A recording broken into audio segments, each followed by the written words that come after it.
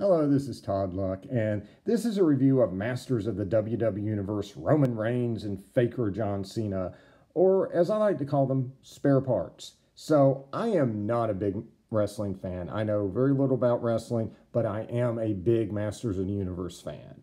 So, this is a line of figures that mixes wrestlers in with Masters of the Universe and just kind of reimagines these different wrestlers like they were on Eternia and it's in the same style as Masters of the Universe Origins, and obviously is in the same style as the original Masters of the Universe figures, just with articulation, and hopefully uh, the same system where you can take the figures apart and put them back together and mix and match different body parts to create new figures and so that's why I got them, and we will see if they're compatible in that way, and if you know maybe they can augment or enhance, or you know even create new figures for Masters of the Universe Origins.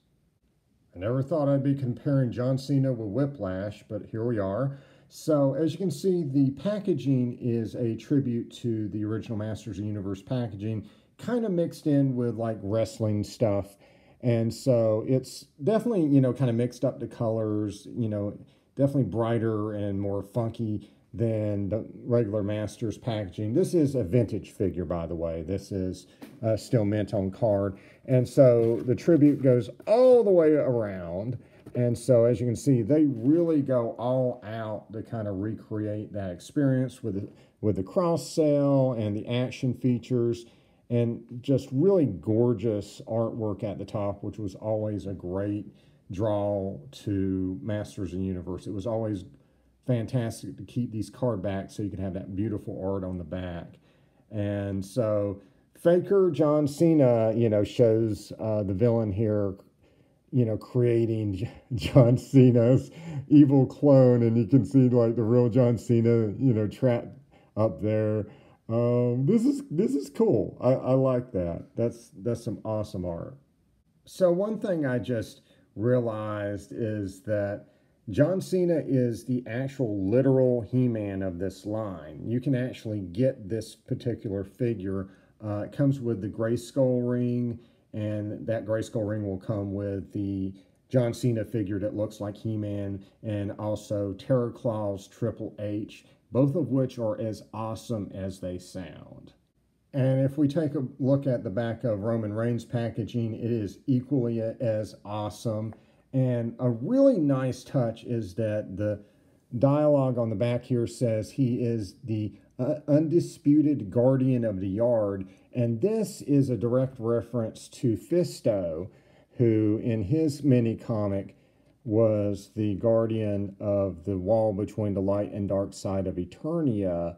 And so that is just a really, really cool little tribute right there because, you know, he does have Fisto's gauntlet there. So that is really cool. Both figures also come with a mini comic. So let's go ahead and open them up and take a look. And so here they are out of the packaging. And here's everything they come with. And so the mini comics are very simple, but they're also pretty clever. So this is a really great tribute to this cover. Again, one of my favorite mini comics. This came with a lot of the different figures. Um, and the mini comic is basically you get this image of the character with a little bit of information about them, and then a single page story, which they seem to tie in together and then the cross sell on the back. And the same holds true for uh, the one that comes with Roman Reigns. And they even get to, you know, throw in their different catchphrases, you know, this is my yard, you know, and all that stuff. Because, you know, Roman Reigns is obviously the heroic big dog. And by the way, once you get the figure and the accessories out of the way, you get a really good look at this card art. And boy, it's gorgeous. All right, and so let's look at the articulation. We're going to use Mr. Cena. Uh, and so his elbow bends, his wrist rotates and bends. Uh, arms will go out, move all around. Uh, head will rotate, look up and down. Waist, waist twist. Legs will go up. Wow. Uh, bend at the knee. Feet can move all the way around. And he does have that boot cut, even though he doesn't have boots. so, yeah, this is all the articulation you would find on the Masters of Universe Origins figures. So, looking at these figures, these are really cool looking figures. They're well designed, the sculpt looks great, the paint looks great, and they just look great all the way around. Now, I will say, if they're supposed to be on Eternia, Roman Reigns here, he fits right in. So pants are not that common on Eternia, but they made a figure of Blade from the Masters Universe movie. He wore leather pants like that, so it works. Um, and the weird thing is, this is not that far off from what he's worn in the ring. So Roman Reigns just dresses like he's from Eternia. um, John Cena is a little bit weirder. He is has his normal dress down here, you know, the shorts and the shoes that he would normally wear, but then he puts on, you know, kind of this harness that looks like it's from Eternia. It, it's a little weirder, but it's just such a cool looking figure with the see through skin. And for what it is, it's very well designed. They're both uh, wearing symbols that are associated with them normally. This isn't something made up for the line. This is uh, John Cena's chain gang symbol right here. And this is Roman Reigns' normal symbol. And I got to tell you, as a graphic designer, this is really nice. This is one of the best logos I've ever seen. I mean, just the way it's able to take these two R's and just make them into something that looks really, really cool. I mean, it could be so many different things. It could be a bat, it could be a skull, it could be a shield. It's kind of a badass Rorschach test. No matter what you see, it's going to be badass. But I love, I love his symbol there. So taking a look at accessories real quick, this fist is just going to plug right into his regular fist. And so now, and this, and again, this is really clever to to combine him with Fisto, so he's the guardian of the yard, which combines, you know, his catchphrase about, you know, this is my yard with uh, Fisto's mini comic. So a couple notes on his accessories. Um, I can get the shield to clip on very easily, but it's hard to get him to hold it while it's clipped on, but you can clip it on and it'll stay just fine. This is a variant of He-Man's shield. Um, and as far as his Fisto fist, it needs to go in there a certain way. You really need to keep playing with it until you kind of hear it click into place and then it'll stay, but otherwise it'll slip off. But if you get it in there, like I said, you'll probably hear a little bit of a click. And it's pretty easy to take off, but you know, once you get it on there, it will stay. Mr. Cena has a lot of different accessories. So he has this flexible armband that you can put on his arm. He has this little chain you can put around his neck. And he's got his brass knuckles. And he also comes with a mace that looks like Spikor's mace from the original Masters in the Universe toy line, which is kind of random, but still looks cool. And so one of the signatures of the original Masters of Universe line and Masters of Universe Origins is the ability to take off and exchange the armors with other figures, and so you can do that. But you'll notice that I can't get it off just by sliding it off. So what you're going to need to do is test my theory that you can indeed take off the upper body from the lower body so those interchangeable parts are indeed there and we'll be taking a look at that in just a minute. And quick note, underneath the armor is a sticker with some robotics showing that is a tribute to the original Faker figure, which had the same thing. It was one of the things Faker was known for.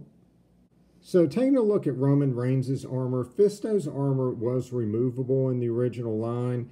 And so my theory is that probably Mr. Reigns is too, but we're going to have to, well, I took I took off his upper body, but my theory is that we need to take off the head. So I've removed his head and uh no, I thought that this these might be tabs, of some sort, but no, this is, this is one solid mold. Um, if there's a way to remove this armor, I'm not seeing it. Nah, this is just one solid mold, guys. So Roman Reigns' armor, while it is incredibly awesome, is going to stick with Roman Reigns. So Mr. Reigns' arms will also come off. The hands will also come off. So the legs don't come off, but the boots do. So here are all of Roman Reigns' parts.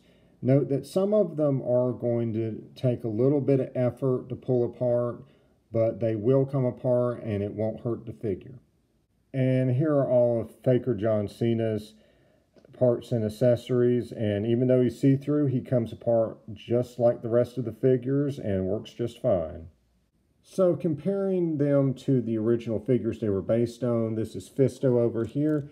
And as you can see, I think uh, the gauntlet that they've given Roman Reigns is a really nice upgrade to Fisto's fist. I think it looks really great, and I think, you know, th this works very well. Um, Roman Reigns is a bit taller than the vintage figure, but that's because they aren't sculpted in that squat position. They can stand straight up, so they're going to be a little taller, but they are the exact same scale as the old figures. And here's Faker John Cena with the original Faker. And as you can see, you know, they've really switched up the accessories on these figures and, and obviously the see-through gimmick is very different than the original Faker, but I think it looks really, really cool, and I certainly wouldn't mind a version of Faker that had see-through skin. And they fit in really well with your Masters of the Universe Origins figures. And as you can see, the armors and weapons are interchangeable between the Origins line and these wrestling figures. There are limits to that compatibility. The brass knuckles will only fit on a gripping hand and not an open one. So the gauntlet makes a really cool looking accessory for your Masters of the Universe Origins figures. Now it's not going to fit on a hand that is either open or a gripping hand, but what you want to do is you want to take the hand off and then put it on that figure's arm and it'll fit just fine and looks fantastic. And the gauntlet makes a really cool, unique weapon for your villains too. The pants definitely create some interesting possibilities. So there's all kinds of cool possibilities when you mix and match. You could create a new palace guard or a big dog at arms. And we'll have some more neutral style harnesses. They'll come along later in the line. But as long as you can cover up his chest piece with a harness and exchange his bottom half so you can get rid of John Cena's shoes and shorts, he's a pretty passable Masters figure. Or you can just leave the control panel exposed and it'll just be obvious he's a faker robot. So before we go testing compatibility with the old line, this is Faker John Cena with the original Faker's harness and sword, and it works just fine. So Faker cannot wear John Cena's harness because he cannot remove his torso. However, he does get the brass knuckles that will work on his gripping hand. And if you're looking for a replacement club for your vintage Spikor, yes, John Cena's club will work perfectly with the old Spikor figure. John Cena's chain and armband are compatible with the vintage figures, and Roman Reigns' shield is also compatible, and it makes a nice matching shield for Fisto's gauntlet, so I really like it. And just like the Masters of the Universe Origins figures, they are compatible with the old vehicles.